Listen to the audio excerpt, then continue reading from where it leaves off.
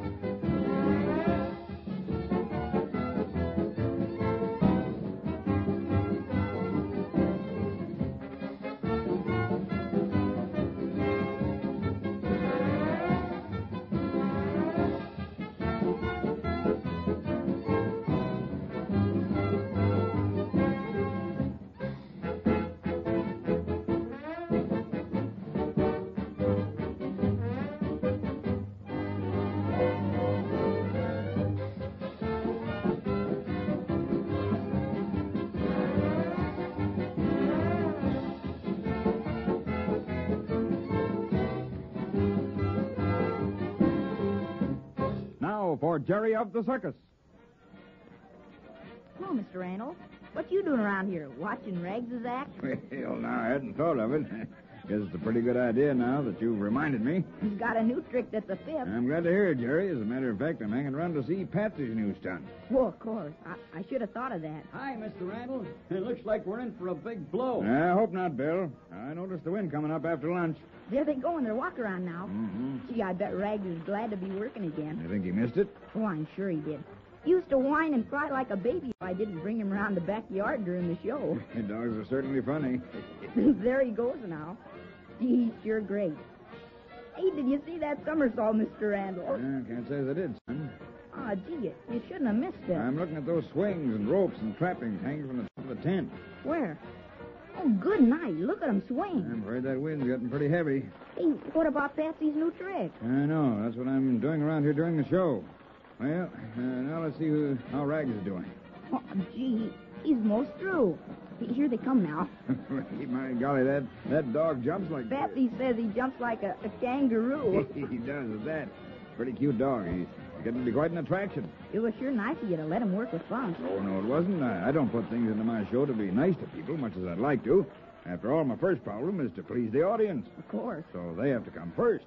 If I find something good, I put it in because I think the audience will like it. And if the audience doesn't seem to like it, I take it right out again. then I guess Rags is pretty good to still be allowed to work. Oh, Rags, your, your act is over. I, I'm ashamed of you. What'll Mr. Randall think? he certainly knows how to beg forgiveness. It's almost. Well, sometimes I, I just think I can't say no to him. I can see how hard it must be. Uh, where'd Bumps go?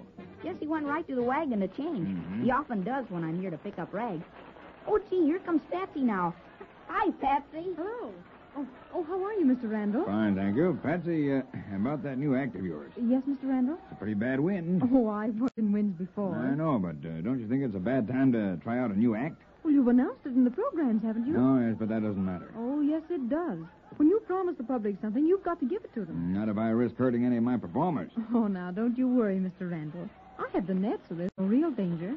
I've only been in the business long enough to take any falls if necessary. Yes, but I don't want you to. Uh, and now, ladies and gentlemen, Randall Brothers Circus takes great pleasure in bringing to you that renowned little artist, Patsy of the Air. This gorgeous little lady, for the first time, will bring to her public a new and hazardous trick. Mademoiselle Patsy, in her latest and most spectacular feat of the air. Golly, Mr. Randall. She's pretty, isn't she? Ah, pretty and clever. And brave. Mm-hmm. Looks kind of little out there all by herself. And the guy when this is over. Well, she's taken off her robe. Mm-hmm. Gee, the audience sure likes her. Yeah, of course they do. Yeah, I wonder what she thinks about when she lets go of those trapezes and, and turns in the air before catching on to the other rod. I asked her that once, Jerry. Oh, what did she say? She she says she always wonders if she left the trapeze swinging straight. That's funny. Not a bit. It's the natural thing for her to think about. Well, why? Well, if she's left it perfectly straight, it'll surely be right for her return trip as she flies across that great empty space. Oh, of course. And, if it's twisted, I, I suppose it might swing kind of uneven. And she'd probably miss. Golly, must be an awful lot to remember up there. And, and look, she she does it so easy, just like flying. That's why she's the greatest little aerialist in the business. But she's been training at it since she was a baby. It, it, it must be time for that new trick. Yep. Mr. Randall, Yes, Jerry? the wind's coming up again. Look at those trappings. I know. She's ready. Yeah. What's wrong? Why's she waiting? Oh, nothing. She's, she's just waiting for that trapeze to right itself. Golly. There she goes. Mr. Randall, she slipped. Oh. Oh, gee, she fell. Golly, look at her bouncing that net. Yeah, I was afraid of that. Yeah, but why? Why, even in rehearsal, she never slipped. She took her fall nice anyhow. I bet she did. She, she sure climbs up there fast. Mm, you know, you can't keep the audience waiting too long. She's going to try it again. Honest, I, I'm as scared as if I had to jump off that platform. Yeah, I'm sort of nervous myself. There she goes. Gee whiz, a, a somersault and a half turn, and another somersault. Oh. Oh, gosh, what a shame. I, I'll bet she feels terrible. And she couldn't help it that time, Jerry. That canvas top blew her trapeze off at an angle. Gee, Mr. Randall, don't, don't you think she ought to stop trying? No, she can't now. It's too late. Well, what do you mean? Well, when you once start a trick in front of your audience, you have to keep on until you get it right. But when there's a wind, No, it doesn't matter. Either you mustn't attempt a trick or else you must keep at it until you do it right. but that seems awful. Mm, Mr. Randall's right, Jerry. Oh, hello there, Mr. Bradley. I, I didn't see you. Gee, Patsy's having a, an awful time. Ah, she's ready. Good. Two somersaults and two half turns. Oh, what a Boy, she made it. She made it, Mr. Randall. Oh, boy, she did Mr.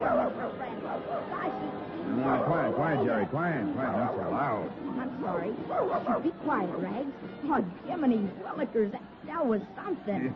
Aren't you proud of her, Mr. Randall? Uh, she's a grand little trooper. Fine performer. Of course I'm proud of her, Jerry. A gifted little lady. Oh, youth.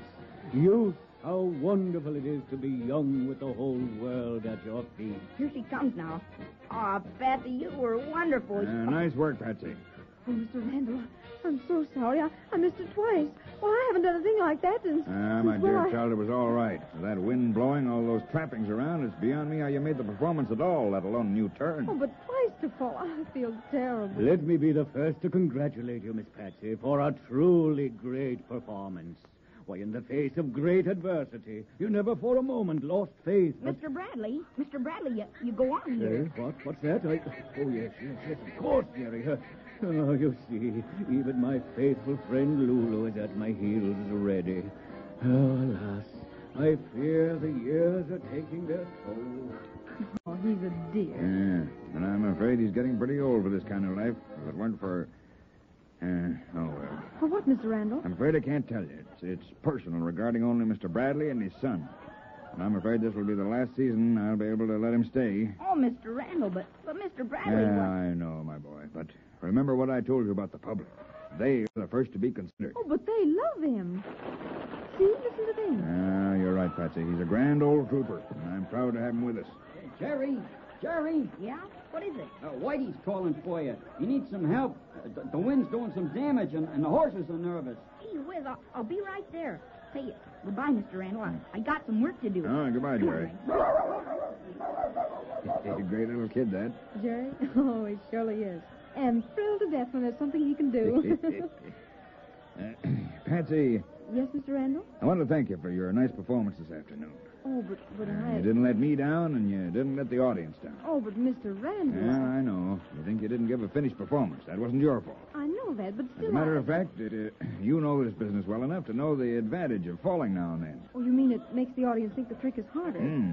And when you finally do it, they think they've seen something more difficult than it really is. That's it. Now, I've never gone in for fooling the public that way. Lots of show folks do it as a matter of routine. Yes, I know. But when it happens, because of things we can't help. You mean that it made it even more exciting for the folks? Exactly.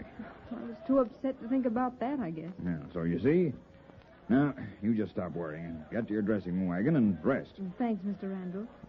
You know, I think you're one of the nicest people in the world. Well, Patsy. And I'm proud to be working for you. Goodbye. Well, I'll be. Mr. Randall. Huh? Mr. Randall. Oh, why, Johnny, what's the matter? A catastrophe has just occurred. I. Well, now, now, take it easy, old man. It can't be as bad as all that. Oh, but it is. The worst. What I have always feared has befallen me. Oh, no, no, no, Johnny, please. What's this all about? You remember my telling you ab- all about my son? Why, yes, yes, of course. Well, funny, it crossed my mind a little while ago. Well, he's here today.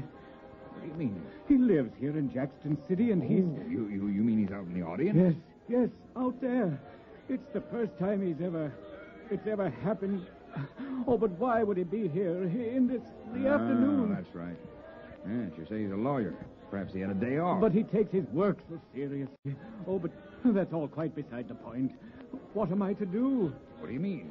Well, I can't. No, I, I just can't go on again, Mr. Randall. Why, nonsense, Johnny. He'll never recognize you. Not in that crazy costume and that face painted on No, you. no, of course not. But uh, the Shakespearean act, that I cannot do. I don't see how he could possibly recognize you. Oh, you. but he will. Oh, you don't understand, Mr. Randall. Uh, Dick was brought up in the theater. His whole boyhood was backstage. He knows my old Shakespearean roles almost as well as I do. Oh, I think hearing you in those lines would. I assure you, Mr. Randall, he couldn't fail to recognize me. He knows how I read every line I've ever played. He, was brought up hearing me rehearse from the moment he woke up till he fell asleep in my dressing room at night. Ah, Princess. I hardly know what to say. Could you, uh, would you let the boy go on? Oh, please. He knows enough of the lines. And after all, i it's a matinee. I know, and most are children.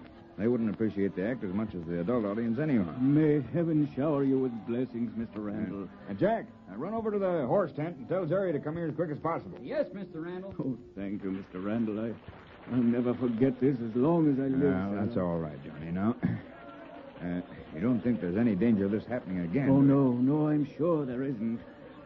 You see, now that he's caught the show, he won't come again. And of course, once we leave Jackson City behind us. Uh, there's no danger of his recognizing your name in the program? No, no, Mr. Randall. You see, I, I didn't give you my true name. Oh? It's, it's John B. Grayson. Not the great Grayson. Bradley was my mother's name, sir. Well, I can hardly believe my ears. The great Grayson, a clown in my circus. But you'll never breathe a word of this. On my word of honor. He's gone, Mr. Randall. Jerry left the horse tent a few minutes ago. Well, find him. Get all the men to search the grounds at once. Jerry must be found. He's got to go on in Johnny Bradley's place in 15 minutes.